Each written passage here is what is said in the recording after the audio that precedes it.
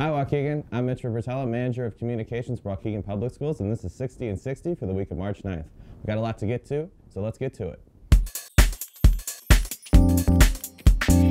Land owned by our district may soon be home to one of the largest community solar fields in Illinois and a development that may also save some residents on their electric bills.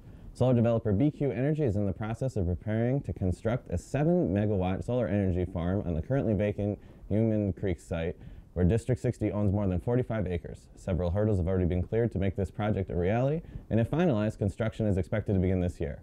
As a community solar project, low-income residents would have a chance to apply to save 50% on their electric bills.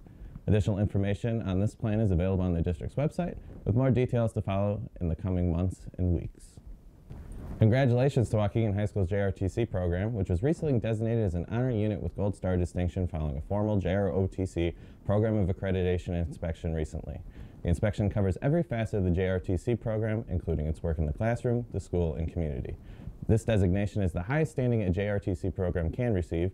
The program earned a score of 98.5 out of a possible 100, which is the highest any squad has received in the program's 103-year history. Weiss Field's new field lights were taken for his test spin earlier this month. Field and parking lot lights at the stadium were installed this summer and fall at a cost of $486,000.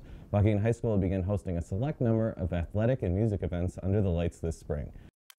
Students and staff at Clark, Hyde Park, Whittier, and Cook Magnet Elementaries have been selected as recipients of the Fuel Up to Play 60 Breakfast Opportunity Grant.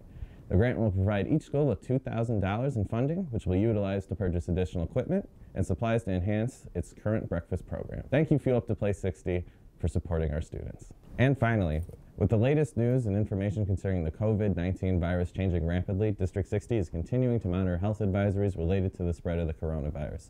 The community can find continuous updates on the latest developments on our website, where we detail district actions and provide important health information. We continue to take guidance from health officials, and we will continue to update our families with any important information. Thanks for watching, and be sure to tune in each week as we bring you the latest news and events happening around Waukegan Public Schools.